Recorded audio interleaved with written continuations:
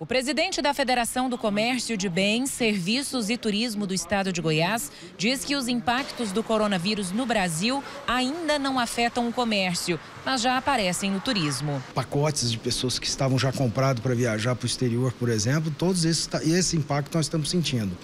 Mas nós estamos é, é, preocupados para que a partir do momento que essa curva cresça, como o empresário irá se comportar diante é, de uma diminuição de fluxos de cliente. Isso deve acontecer no, a partir do momento que aumentar a curva de contaminados. O SESC, Serviço Social do Comércio em Goiás, cancelou todos os eventos com aglomeração nos próximos 30 dias, a partir da próxima segunda-feira.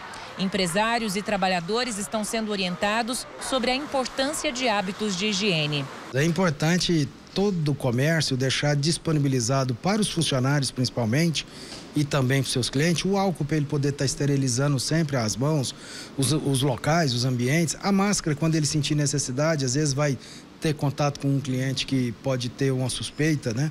Na região da 44, lojas e shoppings já oferecem álcool em gel para clientes e lojistas. A região está preparando para esse momento. Todos os nossos empreendimentos que chegam na totalidade de 100 estão com álcool gel, conscientizando os clientes, os turistas de compra da necessidade de fazer a higienização correta. Aqui, o álcool em gel foi colocado num local estratégico, na frente dos elevadores. É que todo mundo coloca a mão aqui nesses botões e a chance de contaminação é maior. Por isso, é melhor se prevenir.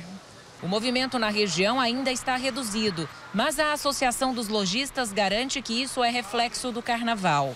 Próximo final de semana, nós temos várias excursões confirmadas: Mato Grosso, Espírito Santo, Minas, Bahia e mantiveram até então a confirmação dessas reservas. A Tecnoshow Comigo, maior feira de tecnologia para o campo, que acontece todos os anos em Rio Verde, no sudoeste do estado, também foi suspensa por tempo indeterminado. O evento aconteceria entre os dias 30 de março e 3 de abril. Peço realmente a compreensão de todos. Vamos fazer uma análise é, criteriosa a respeito disso e, infelizmente, vamos prorrogar a feira.